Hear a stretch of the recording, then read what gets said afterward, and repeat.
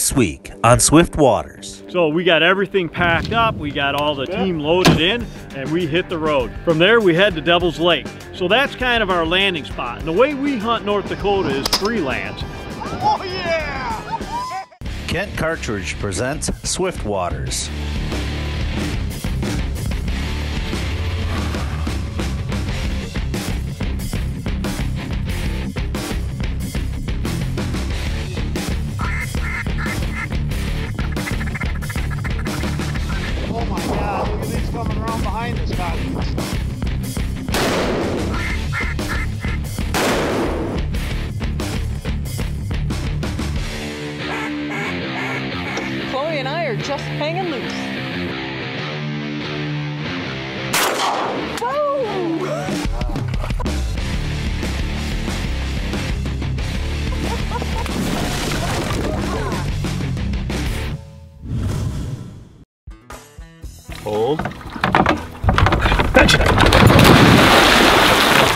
Welcome back to Swiftwater Season 3.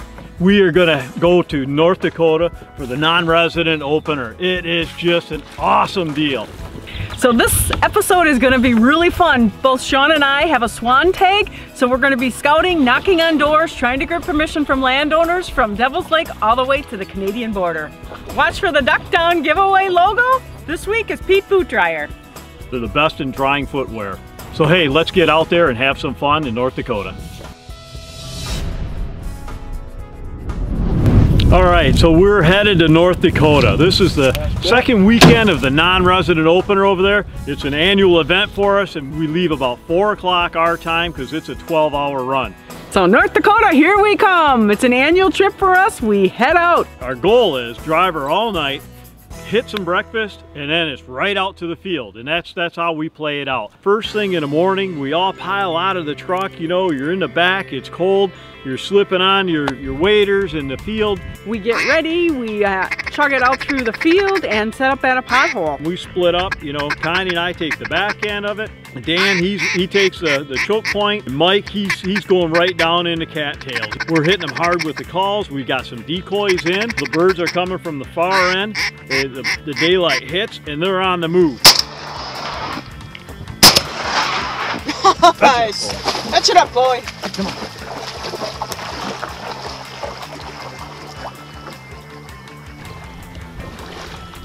Good girl. Good girl. An amazing Here, morning, you know, lots flying over.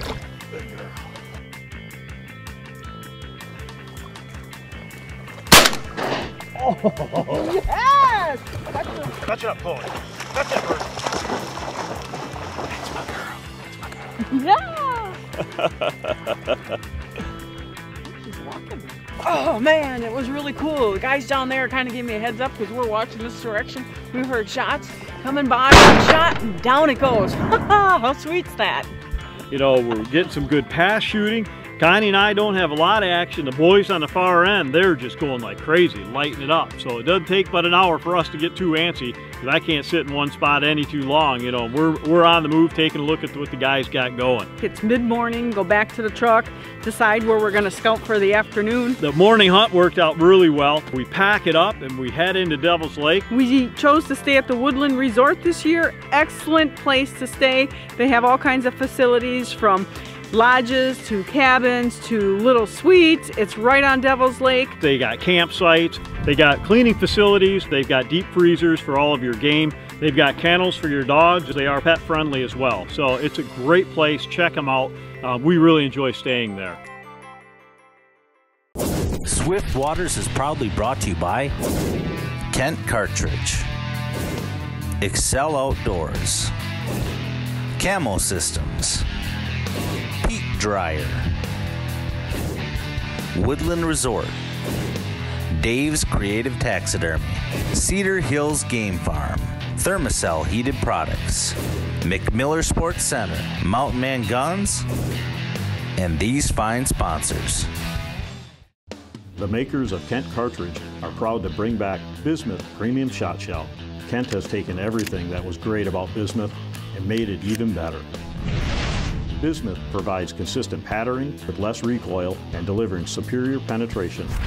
Bismuth is a choice for duck hunters across U.S., Canada, and beyond.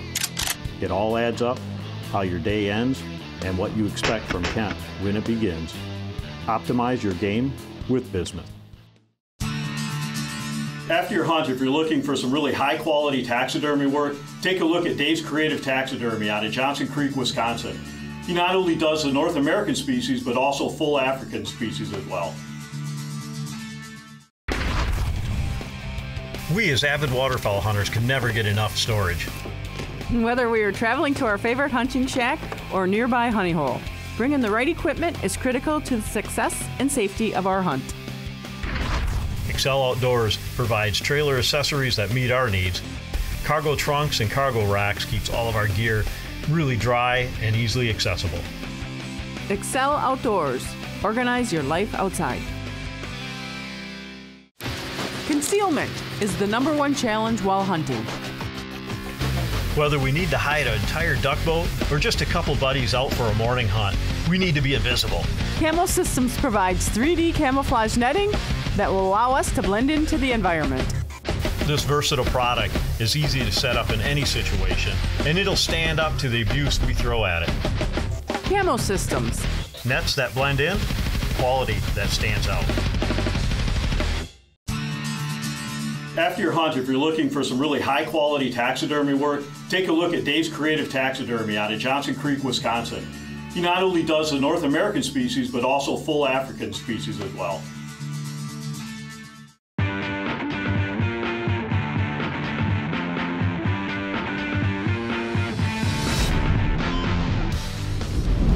So after we get all of our gear unloaded, you know, we get snuggled into one of the cabins. Everybody claims their spot, you know, and we look at each other and say, it's time to roll. We decide, let's go out on Devil's Lake and uh, see if we got any divers coming out. We get in the boat, we launch it out. Um, the water level has actually receded this year on the lake, which has always been increasing to the point where it's flooded out many towns and uh, farms. So we're out, you know, we take the boat out, um, we load it up, and, and we're pretty loaded up. You know, keep in mind, stump jumper's a 15 footer. You know, we've got, you know, four or five of us in there. We've got decoys. We're riding pretty low and we're not going fast, not like in the rivers. Well, we tank it out over to a little island. We offload ourselves, throw some decoys out there. We lay it in the ground. You know, it's just the best thing ever. But man, they're just they're just out there. I get so antsy, you know, I, I walk right out in the water. I'm laying down with the decoys. You never know, right? You know, zeroed out on the birds, just had a good time. We head back up to the lodge, you know, unpack for the evening, get some get some rest because we know we're going to hit it real early in the morning. So we get up first thing in the morning and what do you do? You know, you got to look at the weather conditions, kind of help you determine where you're going to go. We walk outside and it, the wind is kicking. It's like 40 miles an hour. There's no way we're going out on the water. So we head north. We got a couple other properties that we already have permission. They know we're in for the weekend. You know, we snuggle in on a nice pothole. You know, Chloe's on her stand because the water is like three feet deep. Morning comes and shooting starts. You can see them cross. You know, we get some fast action, you know, right on the deck. You can see them coming, but they're going by you 40 miles an hour. And it's like, if you don't lead those things, you ain't gonna get one.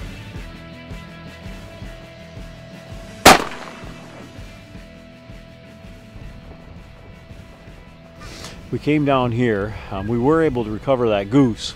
Oh.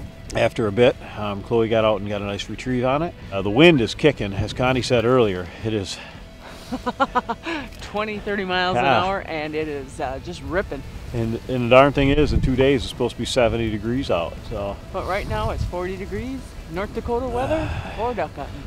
So we're out there, you know, in this marsh. Sean is calling, he's calling them in. They're circling around us. They swing wide, so we wait again. He does a little bit more calling, and I'm like, here they come. They're on the deck. They are flying, you know, fast, fast, fast, and they're coming, and you got to lead them, and down they go.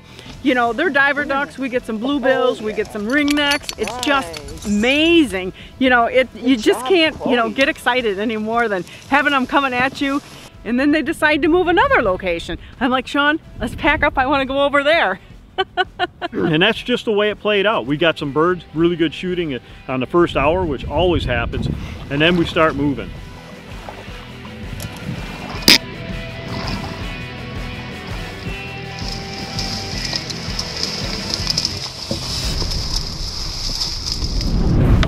Well, hey, obviously we have Chloe, you know, with us all the time, all of our hunts, which just brings a whole new dynamics to duck hunting, you know, hunting with a dog.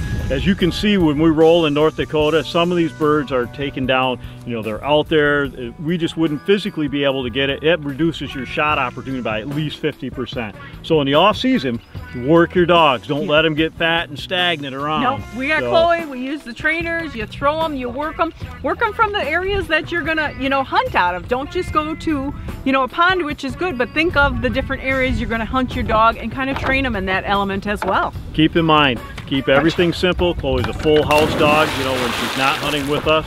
Simple commands, repetitive commands. Sit, stay, fetch. You know, just keep and consistently repeat over that. Use the same training dummy as well. I, we use a Dokken. They're just great tools to be able to work with.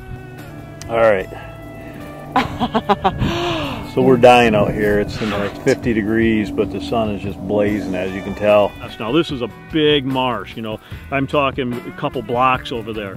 You know, keep in mind always be friendly to the landowners. Be courteous if there's other hunters, um, because we're all here to have a good time, right? That's what it's all about.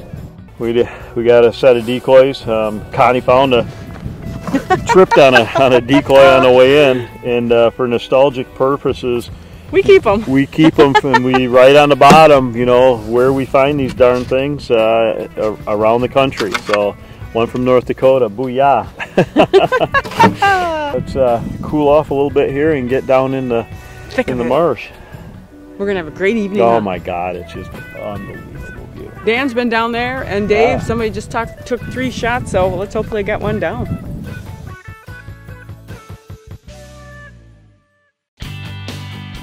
After a hard day in the field, we depend on Peet Dryer Systems to dry out our waders, boots, and gloves. We find that Peet dryers will extend the life of our gear. Once you experience putting on a warm pair of waders or boots from Peet dryers, you'll never go without. Peet Dryer is safe for all types of materials neoprene, leather, rubber, and all modern products. Peet Dryer. We invented dry. Whether you want to use guides or you're a do-it-yourselfer like us, Woodland Resort has all the services you'll ever need for your next adventure. Their lodging ranges from camping to cabins to deluxe suites. Also, an on site marina and a full service cleaning house. Just pick your style of accommodation. While freelance hunting throughout North Dakota, we find being centrally located on Devil's Lake at the Woodland Resort is just critical to our success. Woodland Resort. North Dakota's number one duck camp. We as avid waterfowl hunters can never get enough storage. Whether we are traveling to our favorite hunting shack or nearby honey hole, bringing the right equipment is critical to the success and safety of our hunt. Excel Outdoors provides trailer accessories that meet our needs. Cargo trunks and cargo racks keeps all of our gear really dry and easily accessible. Excel Outdoors. Organize your life outside. The makers of Kent Cartridge are proud to bring back Bismuth Premium Shot Shell. Kent has taken everything that was great about Bismuth and made it even better. Bismuth provides consistent patterning with less recoil and delivering superior penetration. Bismuth is a choice for duck hunters across US, Canada, and beyond. It all adds up, how your day ends, and what you expect from Kent when it begins. Optimize your game with Bismuth. Concealment is the number one challenge while hunting. Whether we need to hide an entire duck boat or just a couple buddies out for a morning hunt, we need to be invisible. Camo Systems provides 3D camouflage netting that will allow us to blend into the environment. This versatile product is easy to set up in any situation, and it'll stand up to the abuse we throw at it. Camo Systems. Nets that blend in, quality that stands out.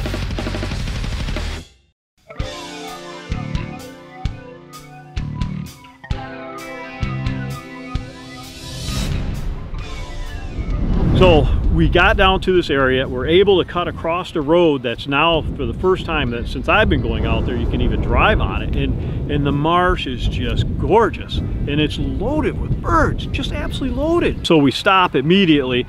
You know, we start looking for names on no trespassing signs. We don't find anything.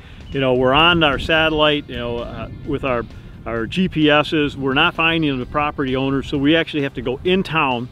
We find the little courthouse, and we're fortunate enough that they're even open to be able to buy a plot map, right? So we got the plot book out, we're going through it, boom, we get the landowners, we're calling, you know, for information, we're on Google, we find the lady's name, the, the couple's name, um, get a hold of them, and she answered the phone, an elderly lady, couldn't have been any nicer. People out there are just genuine, they want to get to meet you, you know, give you permission, they want you to go out and have fun, so that's, you know, all part of the hunt as well. We truly enjoy meeting new people and getting permission to hunt on their land. You know, and her one request is after she gave us permission, said, you know, just go ahead and have fun out there, y'all.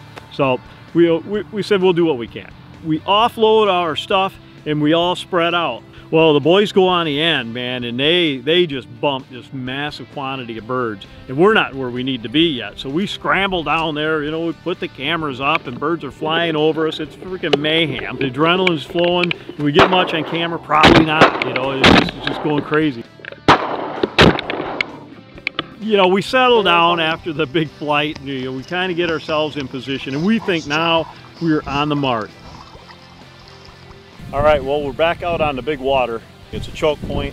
We're, uh, we're here for an evening hunt. It's about 5.30. We got a couple hours, well, hour, hour and a half left of daylight. Um, hopefully we're gonna get some fast pass shooting right in here. Uh, we've hunted this area quite a bit in the past, and it's always done pretty darn well. So, I don't know. Hang out with me, and let's see what happens, right? I can't get that shot. Oh, you know, when they're like behind you over your head.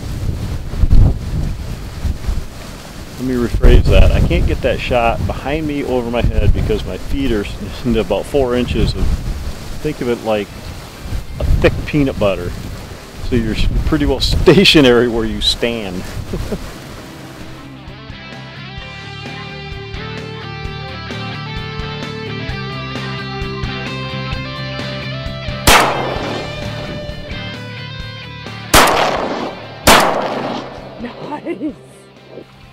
Fetch it up, girl.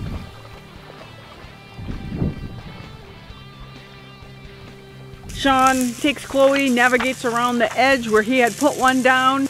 Good girl. There we go. Very nice, very nice. So we get a couple down, they're flying over our head. It's just mayhem. We are just having a blast out there.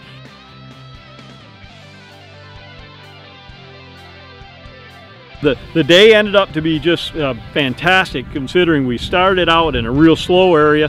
You know, evaluate where you can go, go to plan B or plan C, scout, put your time in, and you know, meet some really good people along the way. I got one, I got one. Fetch it up, Chloe. Fetch it up, Chloe. Get it. It's Swimming. It's swimming. You see it? Yeah, I see it. I'm moving over here.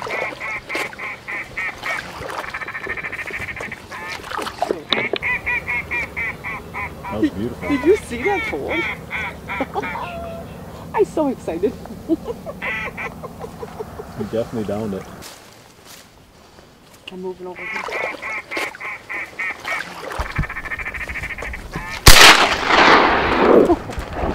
Fetch it up, Chloe. Fetch it up. Hit it again, Connie.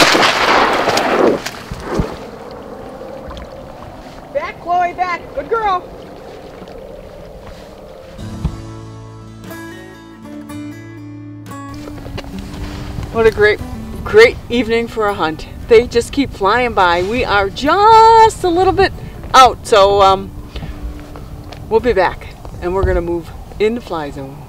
So we go back to the woodland, you know, we're back at our, our place, we get some food and it gets some well-deserved rest again, and, and we're ready to hit it for the next day.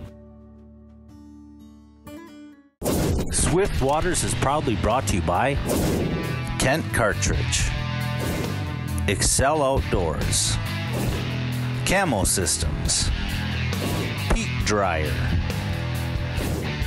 Woodland Resort, Dave's Creative Taxidermy, Cedar Hills Game Farm, Thermacell Heated Products, McMiller Sports Center, Mountain Man Guns, and these fine sponsors.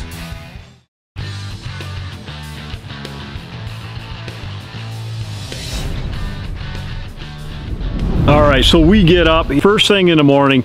We walk outside again and we're, we're kind of evaluating what's the weather like. Overall, it's pretty cool, it's beautiful in that way, but the wind is just kicking it. And uh, we get set up, we get spanned out. You always get the morning uh, sunrise in North Dakota and it's just awesome. I got him! Go get it. Touch it. Well done, Miss Connie. Rock yeah. and roll, baby. Jump down. That's what I'm talking about. Way to go. A wonder dog. Good girl. Good girl. Come on, girl. Bring her here. Good job. Woo! Gadwall? I think so. Nice. We think we're gonna set up here. We set up here sweet. and the birds are over there. And I look at Sean and I'm like, I wanna be there. The birds, you know, they come flying through. We put a couple down relatively slow. Kind of, you know, we're almost like, what the heck's going on? The wind has just picked up from the beginning of the morning to have hardly anything to 40 miles an hour. I gotta have a huge stance, lean into the wind, and it is almost blowing you over. How awesome is this? North Dakota's finest. White caps on the water. Wait for the ducks to come in. All right, guys know us. We're on the move. We're out further into reach. We feel we're at the end of the fly zone to the landing pad. I got him. one.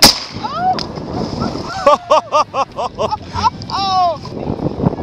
This is uh, this is what duck hunters love. Oh yeah. Oh yeah, here comes one. Here comes one. Oh yeah. I got him. We get down and, and the waves are hitting us. The birds are drawing us in because they're coming all the way down the pike and landing.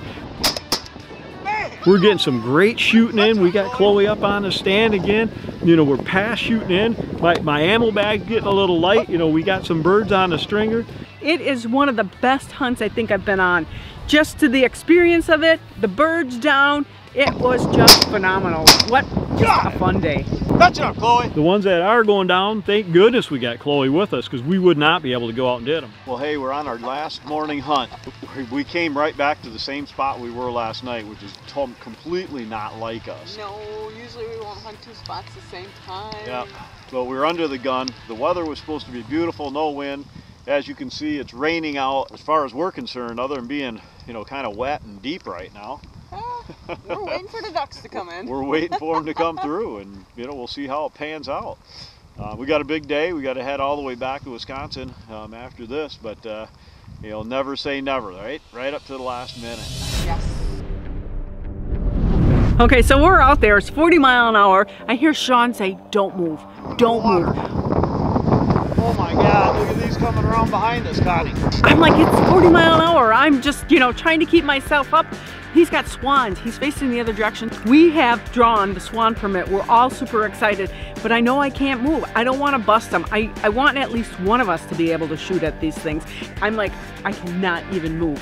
The wind is blowing me. I'm in six inches of peanut butter muck, and they're coming at me. You know, and these things come cresting over the cattails and they're just lofting like 747. And I'm like, Connie, you won't believe it. He's like, they're getting closer. They're getting closer. He says, I'm going to take the ones on the left. But it lofts and lofts and lofts, and Got it, it. just lands way down 300 yards in front of Dan. Come on, Dan, get that bird for me. Smoke that one out there. Just smoke it. Oh yeah. And I'm thinking these things are going to drop like a ton of rocks. Not. This thing, you know, just kind of glares and just glides off. And thank goodness it glided off about 300 yards right to where Dan and Tyler are. We tagged it right away and got some great, great photos of a tundra swan. Who would have thought? Now, those are just absolutely beautiful birds. You know, we ended up uh, plucking it and uh, and processing it when we got home, and we we had it for uh, a Christmas dinner. Um, just just unbelievable. But you know, the trip, you know, we ended up packing up for there. We had a great time out in North Dakota. You know, we had some good harvesting. We had some good, uh, made some new friends again. You know, we always pick up new spots when we go out there. It's, it's part of the kind of the ritual when we do. Um, packed everything up and then we had to head home. Sad days are those, but what a great trip. Stay. Hold. Fetch it up. Hey, thanks a lot for watching the show. We had just an awesome time out in North Dakota. Every year, just love that place. Remember to go to Facebook and let us know this week's Duck Down giveaway. thanks for watching Swift Waters with Sean and Connie. Join us again next week for another great episode. Closed captioning brought to you by Thermacell Heated Products. It was so cool.